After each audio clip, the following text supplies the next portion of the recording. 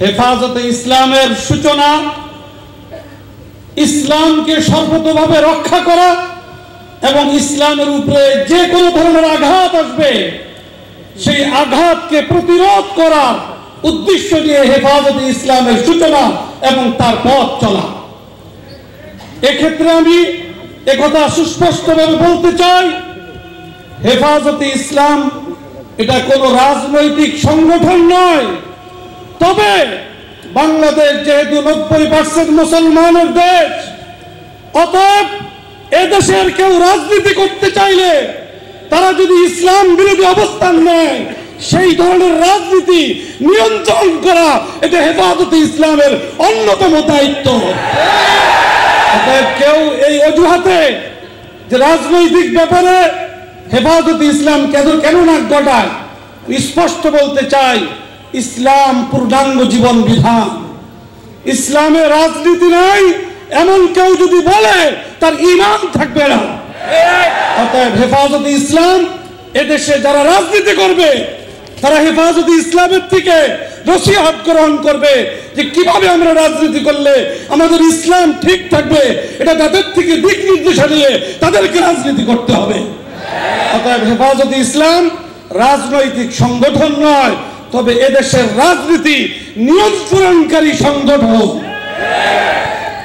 হেফাজতে ইসলাম সূচনা লগ্ন থেকে তেরো দফা দাবি আমাদের সামনে পেশ করে আসছে। এই তেরো দফা ইসলাম রক্ষা, ইসলাম সম্প্রসারণ আর সেই সাথে এই বাংলাদেশের স্বাধীনতা এবং ইসলাম, এটা এক সূত্রে গাথা। ইসলাম যদি রক্ষা না পায়, এদেশের স্বাধীনতা, সার্বভৌমত্ব রক্ষা পাবে না। অতএব ইসলাম এবং স্বাধীনতার স্বার্থে হেফাজত ইসলাম ঘোষিত এই তেরো দফা, এটা বাস্তবায়নে আমাদেরকে যথাযথ সক্রিয় ভূমিকা পালন করতে হবে। আল্লাহর পক্ষ থেকে ঘোষণা, ওয়ালিল্লাহিল ইজ্জাতু ওয়ালি রাসূলিহি ওয়ালিল মুমিনিন। অতএব ওলামা একরাম এবং তৌহিদি জনতার ইজ্জতের ঘোষণা স্বয়ং রব্বে করিম দিয়েছেন। যারা ওলামা একরাম এবং তৌহিদি জনতাকে বেইজ্জত করবে, আল্লাহর পক্ষ থেকে তাদের বিরুদ্ধে যুদ্ধ ঘোষণা করা হয়েছে। অতএব আমাদেরকে সেই ব্যাপারে প্রস্তুত থাকতে হবে। হেফাজতে ইসলামের ঘোষিত এই তেরো দফার মধ্যে গুরুত্বপূর্ণ তিনটি দফা আমি আপনাদেরকে আবার পুনর স্মরণ করিয়ে দিতে চাই। এ ব্যাপারে আমাদেরকে সচেতন থাকতে হবে, সোচ্চার থাকতে হবে। ইসলাম বিরোধী রীতি ধর্মহীন শিক্ষানীতি বাতিল করে শিক্ষার প্রাথমিক স্তর থেকে সর্বোচ্চ স্তর পর্যন্ত ধর ইসলাম শিক্ষা বাধ্যতামূলক করা, এটা তেরো দফার এক দাবি।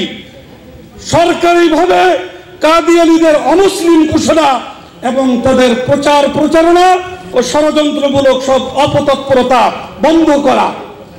আরেকটা বিষয়, মসজিদের নগর ঢাকাকে মূর্তির নগরে পরিণত করা এবং দেশব্যাপী রাস্তার মোড়ে মোড়ে ভাস্কর্যের নামে মূর্তি স্থাপন করার সংস্কৃতি, এটা ইসলামের সাথে সাংঘর্ষিক, এটাকে আমাদেরকে অবশ্যই প্রতিরোধ করতে হবে।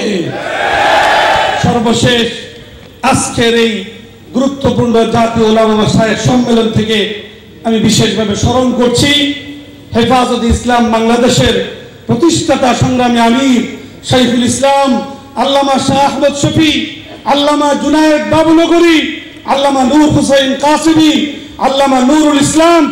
আমরা যদি ওনাদের আদর্শকে বুকে ধারণ করে আমরা হেফাজত ইসলামের কার্যক্রমকে এগিয়ে নিতে পারি ইনশাল্লাহ কবর জগতে ওনারা প্রশান্তি পাবেন আমরা ওনাদের রুহানি ফয়জ, ফিউজ প্রাপ্তিতে ধন্য হব। আল্লাহ রাব্বুল আলামিন ওনাদেরকে গরিক রহমত করেন এবং ওনাদের পদঙ্ক অনুসরণে আমাদেরকে হেফাজত ইসলামের ঝান্ডাকে নিয়ে এগিয়ে যাওয়ার আল্লাহ তালা তৌফিক দান করেন। আমিন।